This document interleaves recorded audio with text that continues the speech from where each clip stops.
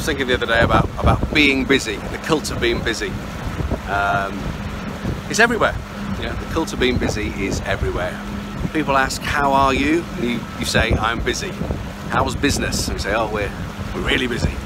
What are you doing at the weekend? We've got a jam-packed weekend, we've got so much on. How often do you take time out to plan your financial future?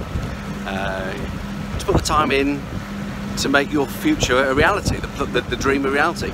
It's almost impossible. You've got meetings to go to, you've got staff to sort out, you've got calls to make, reports to run, cash flow to keep flowing, kids, family, friends, emails. Alter, alter course a minute. Big ferry coming in, we shouldn't crash into that. Yeah, you've got you, all, all that life stuff you've got to deal with. I get it. I've been there. I feel your pain. You are very busy. I know that.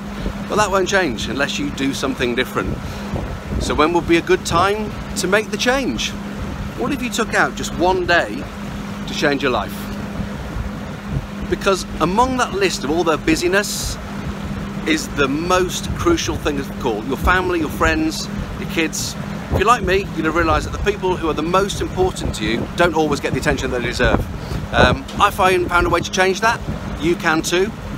Book onto a Discovery Day, click the link below, see how you can build a property empire that can give you the time, the freedom, the security to build the life you want to build. Give you a quick look here. We did miss the ferry.